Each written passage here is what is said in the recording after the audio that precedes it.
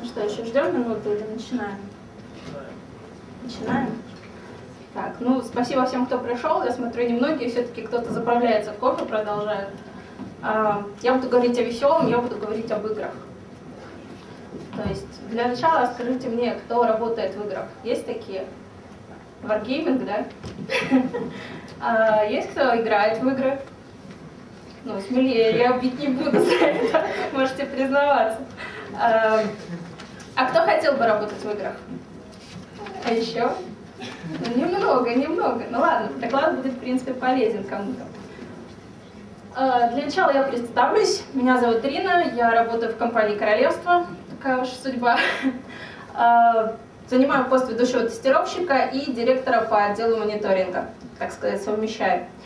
А, веду вот такой вот, как вы видите, довольно-таки активный образ жизни тестировщика. На Agile Days я впервые, впервые, поэтому, если что, тапками не бейте. Доклад переделывали шесть раз, начиная от времени, заканчивая тематикой, поэтому сейчас будем экспериментировать и пытаться все уложиться и все рассказать. Поэтому, собственно, а, аннотацию поправить не успели, потому что о 35 минутах я узнала только позавчера.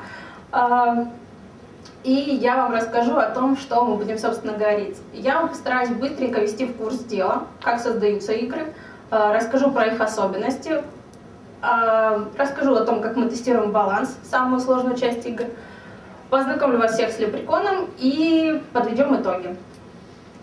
Собственно, как создаются игры. Игры создаются из трех компонентов. Это движок, это код и это графика. Дальше у вас получается магическая субстанция, которая является игрой, в которую играет пользователь и которую вам отдают на тестирование. Но чуть-чуть деталей. Движок в играх чаще всего приобретается, а не создается самим, поэтому он тестируется только автоматически, и то не всегда. Э, код тестируется юнит-тестами, тестируют его разработчики. А перед тем, как написать код, хорошие разработчики сначала пишут юнит-тесты.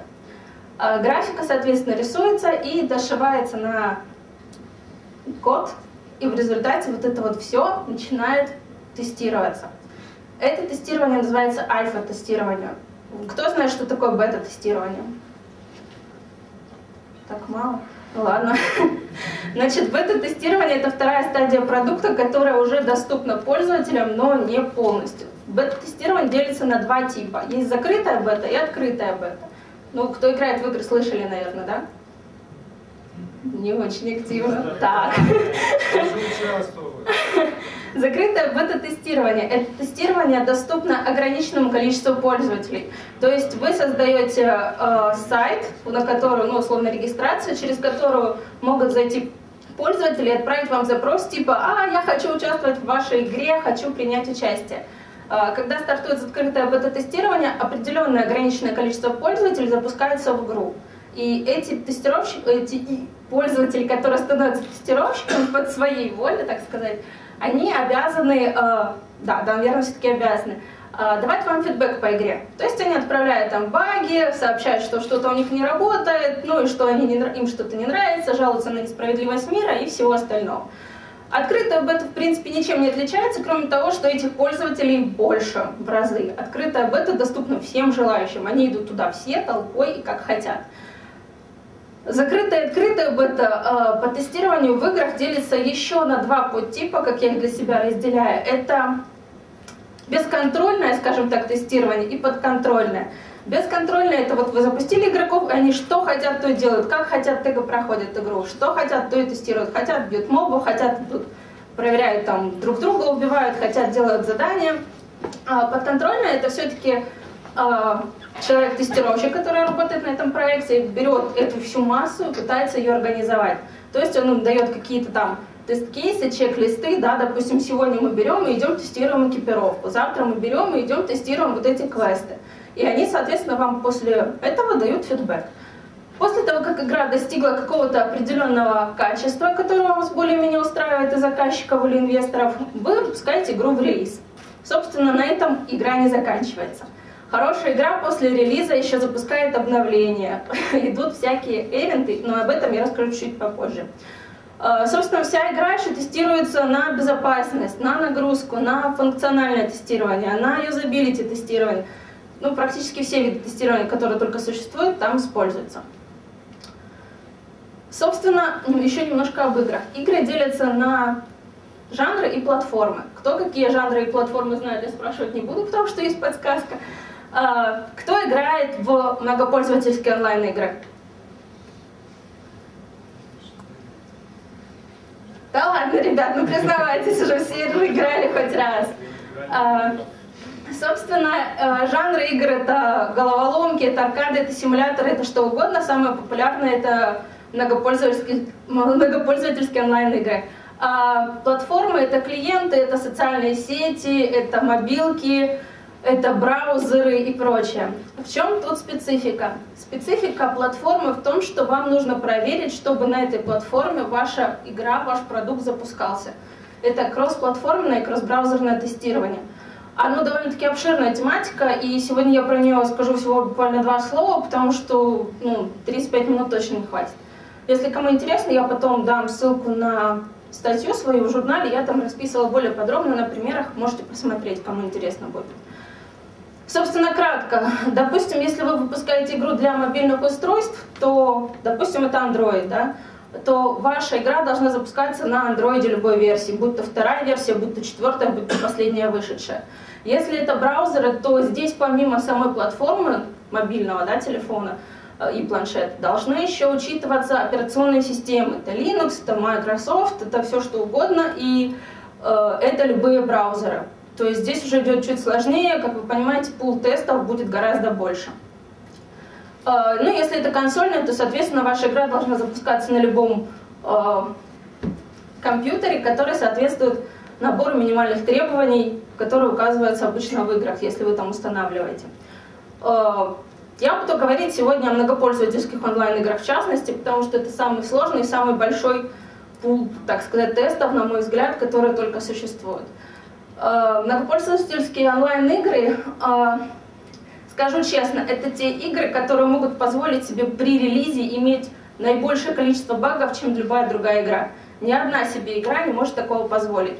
Э, виной всему это социум. То есть игрока затягивает в это болото, он там находит себе сокланов, друзей, он там втягивается в какую-то там незримую, достижимую идею, там прокачать персонажа, получить какой-то мега там комплект экипировки и прочее. И поэтому, если он натыкается даже на какой-то баг, который, естественно, не прям уж там супер критичный, то он, в принципе, его стерпит и останется в вашей игре. Поэтому многопользовательские игры так популярны и так масштабны. Собственно, баланс. Баланс – это самая интересная и самая сложная часть игр. Тестировать баланс можно, в принципе, автоматически, но почему я этого не приемлю? Ни один робот, робот не заменит человека, все просто. То есть вы можете создать ботов, которые будут там убивать друг друга по определенной заданной вам механике. Но эта механика будет неправильной. Я потом расскажу почему. Что входит в тестирование баланса? Практически вся игра. То есть вам нужно тестировать экипировку, вам нужно тестировать уровни, вам нужно тестировать расы, классы, э, расходку, питомцев, которые добавляют характеристики или наоборот еще вместе с персонажем атакуют других игроков. Это умения сами персонажа, то есть скиллы, которые называются. Это, ну, в общем, очень много всего. И, в принципе, в каждой игре по-разному, но в основном как бы пул вот такой вот. Собственно, представляете, да, какой объем тестов приходит к вам. Но давайте по порядку. Как это все делается? Изначально геймдизайнеры и программисты создают волшебную формулу. Ее могут заимствовать где-то, могут придумывать сами, могут на базе чего-то позаимствованного придумать свое, но как бы там ни было, это волшебная формула, под которую подгоняется все в игре. То есть это монетизация, это уровни, это учитывается там, если персонаж, допустим, э, на, скажем так, он реальщик, и он за реальные деньги может купить какой-то предмет, который обычным игрокам еще недоступен на уровень раньше, да, условно. То есть это тоже нужно учитывать, потому что этот персонаж может получить о, слишком большое преимущество. Но все-таки. Далее этот волшебный и адский документ одновременно приходит в отдел тестирования, ну то есть ко мне. Что я с ним делаю?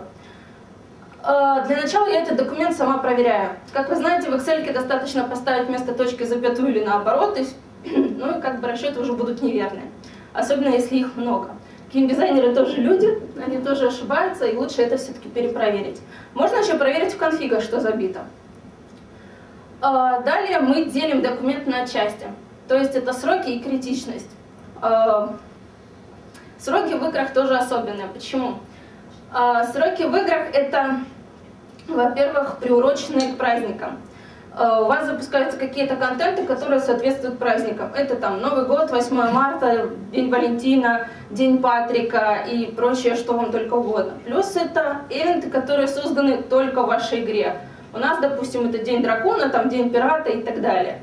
Плюс это цикличные события. Э, например, у вас каждый месяц там приезжает ярмарка на какое-то количество дней. Плюс это просто обновление. Допустим, вы там выпускаете еще одну репутацию или добавляете еще какой-то предмет, или у вас там акция стартует, вы подгоняете монетизацию и доход проекта. И, ну, в общем, много что еще. Поэтому вы между этими всеми строками и планами вам, допустим, нужно впихнуть баланс. Баланс обычно обширный дается. Там, например, 18 э, типов экипировки, 6 раз персонажей, 4 э, класса, например, или больше на каждую расу. Э, и вы, собственно, думаете, как это все впихнуть. В принципе, если сроки у вас позволяют это все впихнуть, то ничего критичного нет. Ну, берете себе и тестируете, перебирая все это по очереди. Если критичность все-таки есть, то лучше это все-таки разбить на блоки. Во-первых, вам нужно учитывать то, что все эти расы могут не уходить сразу в игру. То есть это может быть не сразу апдейт. Вы можете запустить, допустим, две расы и по одному классу на каждую расу. Вы можете запустить не всю экипировку, а, например, только там часть до какого-то уровня. Вы можете даже себе рассчитать, что, а, вот, допустим, два предмета на каждой экипировке доступны на третьем уровне, а до пятого уровня они будут качаться еще три месяца, и я могу пока это отложить и не тестировать. Э, но при этом всем, почему, как я уже говорила, я против роботов. Э, Бета-тесты, как вы знаете, привлекаются пользователи. Как я уже спрашивала, некоторые даже тут участвовали.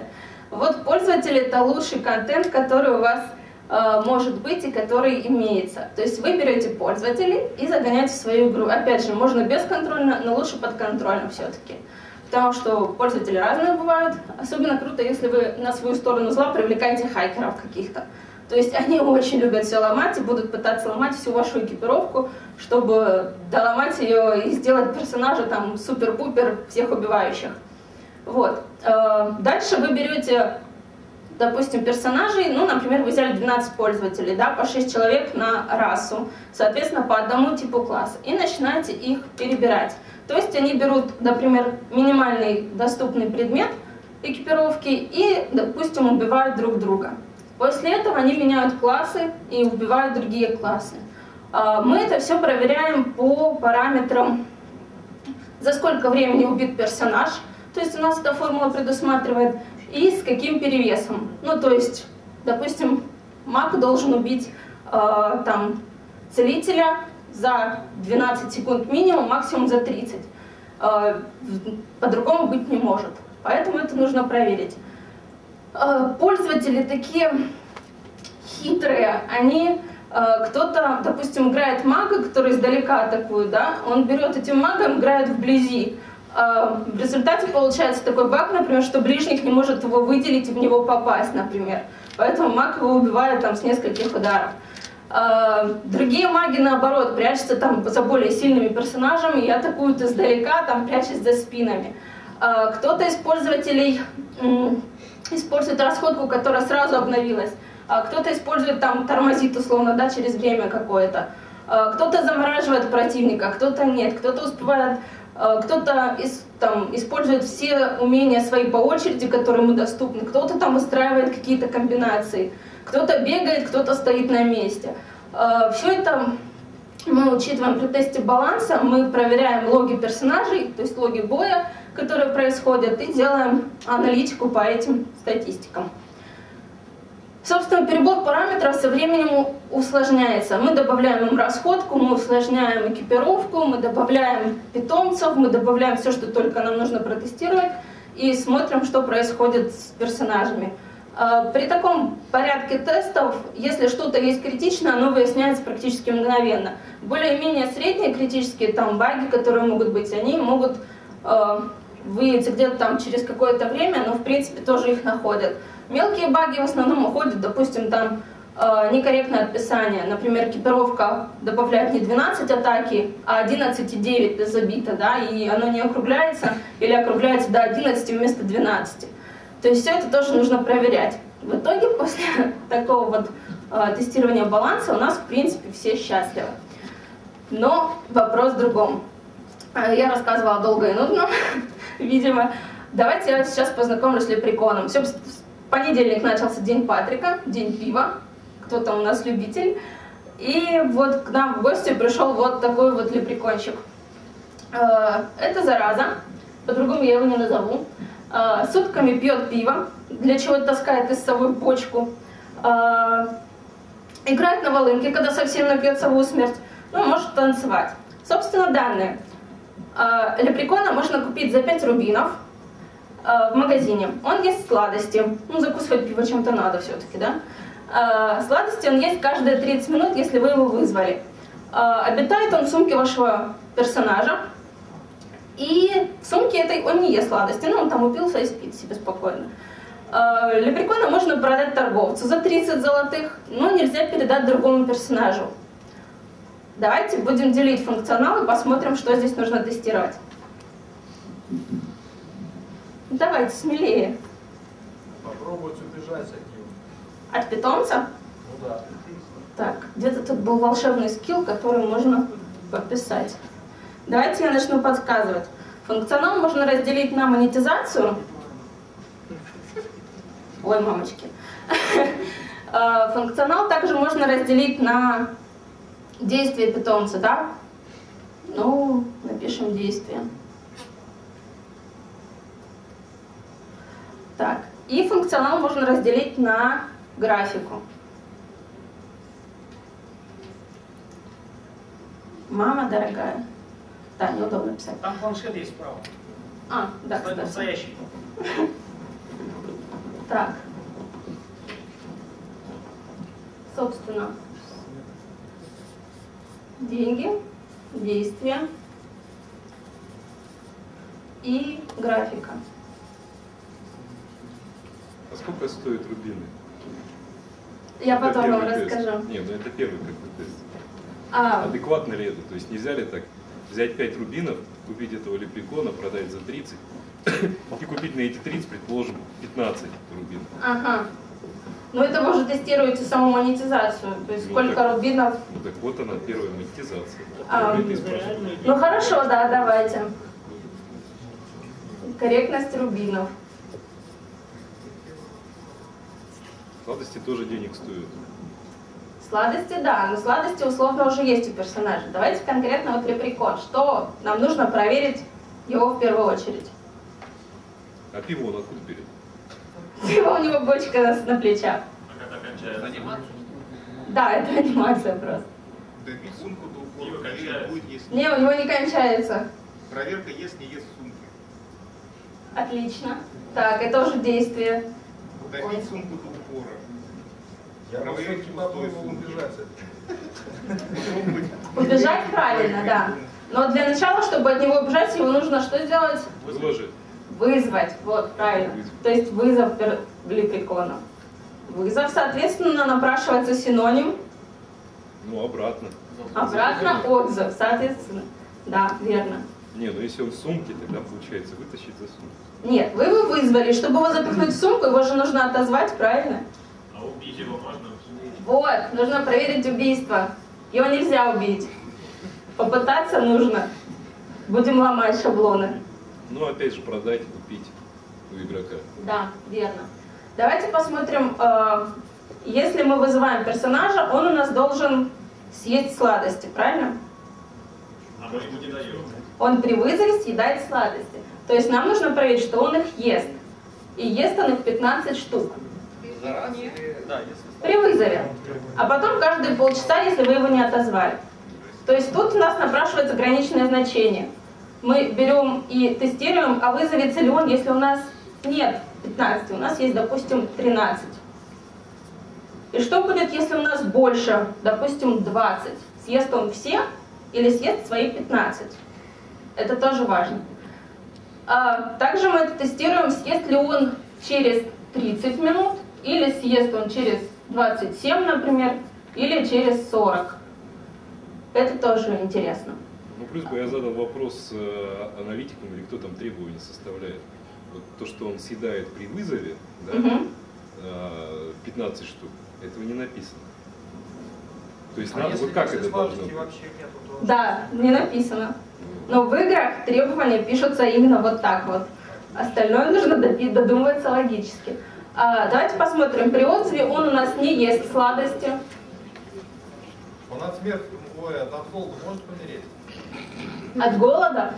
Да, кстати, вот нету Да, что сладости. делать, если нет Вот Вот, логично. Сладостей нет.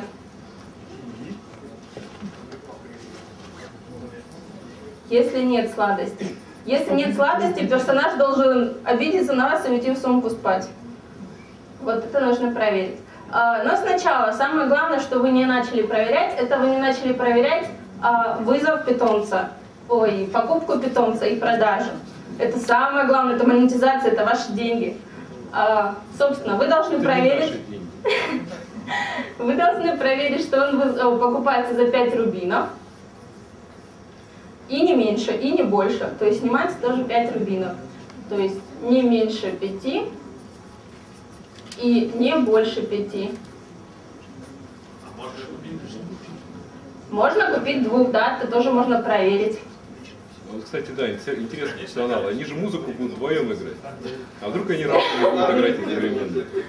А, да, тоже можно проверить совершенно верно. Это тоже действие. Если два питомца, звук, да, тоже интересно проверить. Кстати, 10 человек в команде, у каждого, каждый вызовет такого лепрекона. Что получится? Да, тоже интересно, отлично. И может ли отдельный прикол убить другого?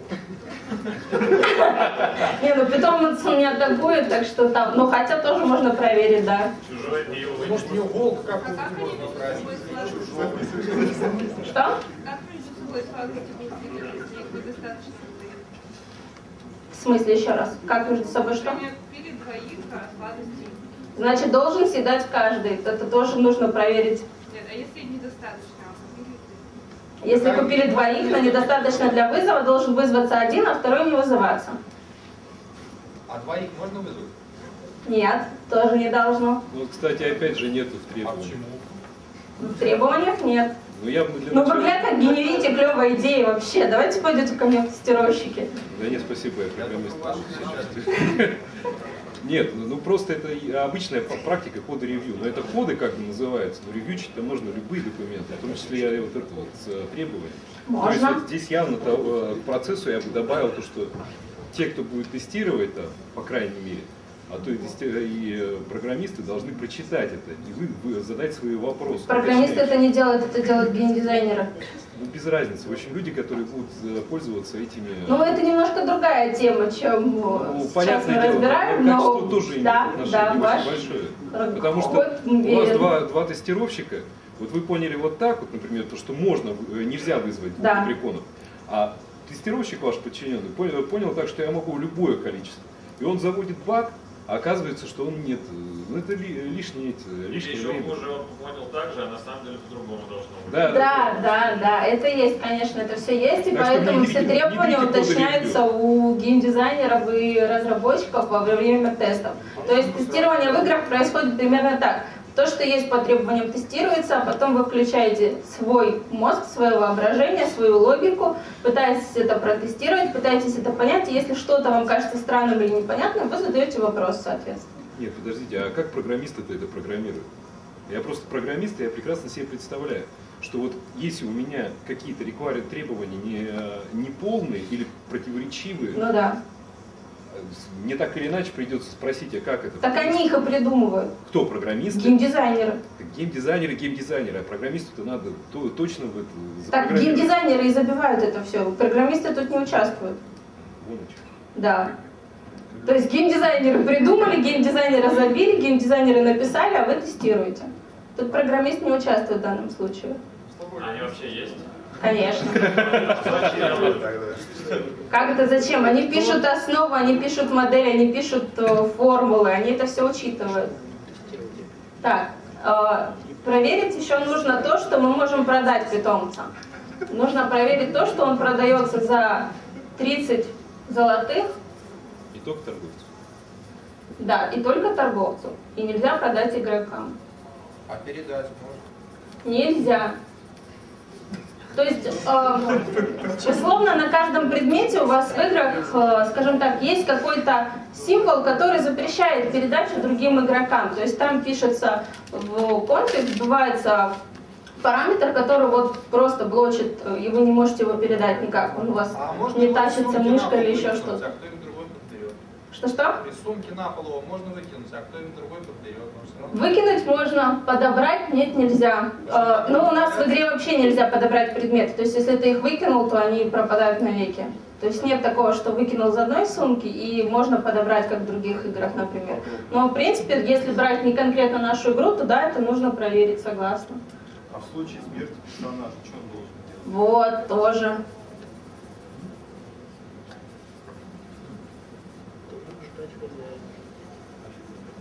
Слушай, а вы классно генерите идеи. Лирика типа, а как часто он на волынке играет и как часто он напивается? Это все анимация. Это просто анимация, и вот это нужно проверять в графике. То есть здесь вы будете проверять э, корректность того, что анимация не зациклена, да, и нету стоп-кадра условно. То есть идет цикл анимации, потом хоп, персонаж остановился, ничего не делает. Это нужно проверять. И что будет, если я в офлайн вывалюсь, куда он двинет? Что-что? Если я вывалюсь в офлайн, куда он двинет? Он никуда не денется. Вы зайдете, он будет с вами. Или наоборот исчезнет. Но будет куда при он этом двинет? есть? Да, нет, не будет. Если вы вышли из игры, то он не У вас, будет у ничего. вас опять очень тоже. куцые требования, очень плохие. Да, в играх требования, чтобы все было хорошо.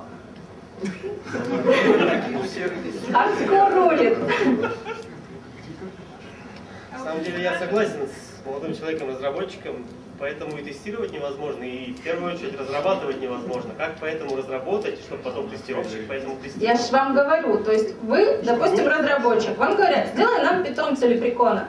Ты садишься и думаешь, блин, а как его сделать? А тебе говорят, ну как хочешь, так и сделай. Ты берешь и думаешь, так, он жрет пиво, он не жрет пиво, он бегает за персонажем, он не бегает за персонажем. Так, отлично, мне такой питомец нравится. Вы это все забиваете и приходите ко мне и говорите, Рин, тестируй. Все. А что значит? Интересный процесс у вас. Да-да-да. Я бы к вам не пошел тестировать, этим программистам. Не, у программистов чуть попроще, там требования соблюдаются. Это тестировщики огребают. Что знать, как можно соблюсти, э, соблюсти требования, а тестировщику э, иметь не иметь? Так невозможно. Требования это один документ, который вот, э, программист и у тестировщика. Как невозможно, игра-то есть. Ну да. Нет, на самом деле э, программисты это более, э, скажем так, это основа игры, да. То есть у них есть требования, у них все это жестко, и, соответственно, эти требования приходят ко мне в таком же виде. А, Есть геймдизайнеры, которые вот более вот придумывают, да, условно, что-то создают.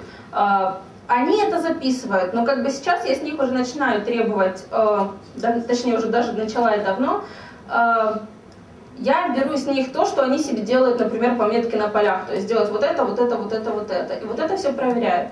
И плюс еще, ну, подойти, спросить, как бы несложно, или там где-то написать в задачке или еще что-то. А можно вопрос еще? Да. Вот э, уточнение требований, которые происходят э, в процессе тестирования, они где-то фиксируются или это сакральные знания, которые умирают вместе с тестировщиком? Нет, почему они умирают с тестировщика? Конечно, они э, сохраняются, и я вам, в принципе, дам документ, который потом сможете посмотреть, как выглядит то, что делает тестировщик. Да. Вопросик. Вот сейчас то, что мы видим на экране, это действительные требования к лепрекону? Или- Нет, это просто пример. В игре он тоже есть, он тоже жрет сладости. Продается он за побольше. другую. Да, там список побольше и в разы, да. Это просто попроще для примера. Вы, вы просто сразу бы это сказали, вопросов бы не Ну возникало. да, меньше бы было гораздо. Эм, Спасибо. Да. Собственно, мы продаем выкинуть и вернись. А красотку можно купить? И сколько стоит? Который вот это. Да, да, да. Есть такие костюмы. Так, ну, собственно, я думаю, принцип всем понятен. Э, Времени осталось уже довольно мало. Э, Давайте подведем немножко итоги. Э, Чтобы работать в тестировании игр, тестировщику важно э, иметь некий такой вот э, порядок, который он должен соблюдать. Во-первых, это не заигрываться. Тестировщики игр, они сами по себе геймеры, ну, в основном. Э, они любят свой проект, и когда там запускается какой-то новый ивент, например, там тот же День Патрика, и вам приходит документ на тесты, вы, о, да, сейчас я потестирую, заходите в ивент, начинаете там что-то делать, делаете, тестируете, тестируете, потом такой, хоба, два часа проходит, ты такой сидишь, играешь. Такой очнулся и думаешь, ой, блин, надо же работать. А, нужно уметь отсеивать личное. Это касается пользователей. У нас так получается в проектах, в играх есть такая штука, как онлайн-встречи. И пользователи зачастую знают вас условно в лицо, и они э, как бы, ну, с вами знакомы, что ли. Плюс, если вы работаете в играх, то ваши друзья э, очень большая вероятность того, что также играют в эту же игру. И если у них там что-то случилось, он к тебе прибегает, Ирин, блин, вот у меня такая там фигня, слушай, вот это поломалось, вот это мне недоступно, вот давай пофиксишь мне. И ты, в принципе, можешь взять, да, там и написать э, задание разработчикам, вот возьмите и пофиксите, потому что вот там вот проблема. Но этого делать нельзя. Все пользователи едины, и хоть там мама ваша, хоть там ваш папа, хоть там э, пользователь мега-реальщик, кто там пользователь, который вообще играет э, 3 минуты вашу игру, все должны быть воедино. Ну, естественно, если это не мега-критичный баг, который вы учитываете. Э, тестировщик в играх, помимо того, что должен находить баги, он еще должен предлагать варианты их исправления. То есть, если вы, допустим, тестируете юзабилити, и вам не нравится там кнопка какая-то, вы должны аргументировать, почему она вам не нравится, и предложить вариант, куда ее передвинуть, и почему там будет лучше.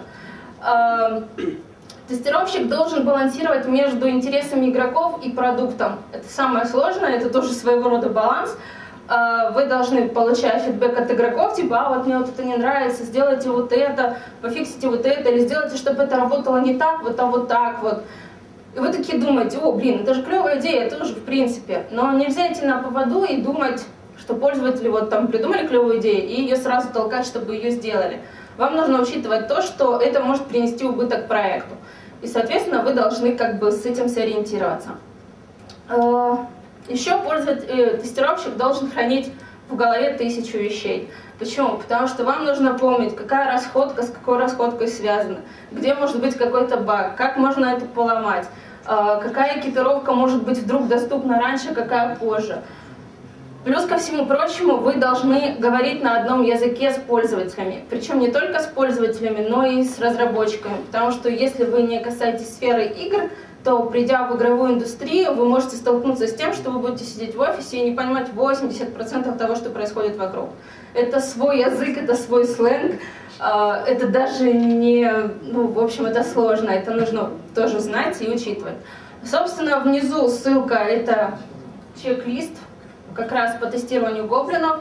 Можете как раз посмотреть, что делают тестировщики, и, соответственно, можете его скачать, с дропбоксом, то есть он всем доступен, там довольно-таки понятно. Там есть э, тестирование свитков телепор телепортации, там есть тестирование квестов, там есть тестирование монстров, тот же баланс, э, за сколько там времени они убиваются и прочее, прочее, прочее. Э, ну и задания, соответственно, тоже.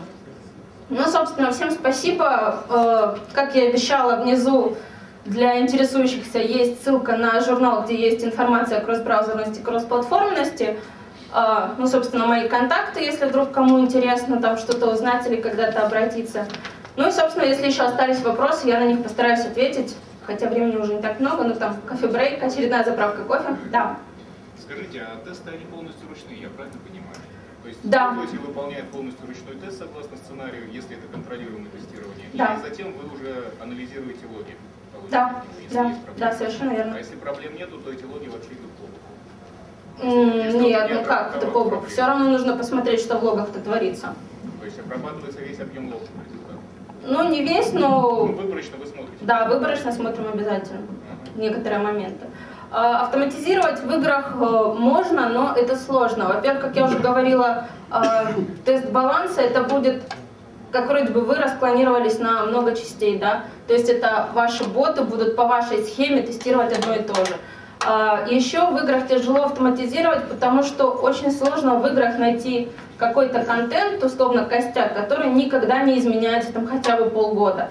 А, это очень сложно, потому что в любой игре, ну, допустим, если это бета-тест, она находится в этом бета-тесте, может находиться годами. и, соответственно, изменения происходят очень часто. Ну, вам просто нет смысла писать автоматизированный тест, вы проверите это быстрее, чем напишите сам тест. Если вы знаете, что проверять, если у вас есть условно опыт работы со своим проектом, и вы его знаете. Тогда, получается, и требования у вас очень быстро устаревают. Требования, да, очень быстро устаревают, да, совершенно И верно. они не обновляются. Нет, они обновляются, ну да, но они не то чтобы обновляются, они скорее переделываются полностью. Все, всем спасибо, время закончилось. Можно еще один вопрос? Да. Вот на прошлом слайде было написано, что, вот, по крайней мере, я так понял, что э, а запросы от пользователя обрабатывает команда тестирования и решение о том, э, мержить или не мержить э, запрашиваемый фичу продукт тоже принимает команда тестирования. Я правильно понял? В основном, да. Ну, как бы могут и другие обрабатывать. А геймдизайнеры, они просто говорят, вот сделайте нам гоблинов, вот вам список, и Нет, нет, нет, геймдизайнеры как раз делают этих гоблинов и делают этот список. Ага, понятно, спасибо. Геймдизайнер это условно разработчик, который э, генерирует идеи в игре и который э, создает сам функционал. То есть он рассчитывает уровень дизайнов, там дизайн уровень, уровней, он рассчитывает, на каком ранге репутации вам будет доступен тот же предмет, он рассчитывает, сколько эта репутация будет стоить в деньгах, условно, если вы будете прокачивать. А, Это все делается геймдизайнерами. У вас вопрос или это просто бутылочка? Нет, Все? Нет еще? У меня такой вопрос, а у вас кроме онлайновых игр был еще опыт тестирования? Социальные, мобильные, да. Ну и помимо игр тоже были. Ну да, мы еще... А, ну, э, сюжетные всякие одиночные какие-то игры Да. тестировались? Да. А там какая специфика работы с требованиями? Вот здесь требования, а, они за- замешаны там на баланс и замешаны на взаимодействии игроков. А в не онлайнах, не онлайн. Не в онлайн-игры, э, зависимость от э, в основном сохранения персонажа, то есть на каком-то этапе, либо наоборот продолжение действий э, в игре, которые, допустим, должны происходить. Ну, допустим, вы там поставили на создание предмета там, или разработку профессий, условно нажали кнопочку, да, там заплатили какие-то деньги, у вас там 8 часов до готовности. Вы должны зайти через 8 часов, и это должно быть готово, например. А не так, что вы зашли, и у вас еще 8 часов до готовности. Но это зависит все от типа игры самой. Это все равно серверной части, я понимаю. В основном, да. Но в основном все игры, они все равно едины по-своему. В любой игре нужно тестировать баланс. Даже в кубиках передвижения, там, собери три в ряд, например. Спасибо. Все, уходим на кофе. Всем спасибо еще раз.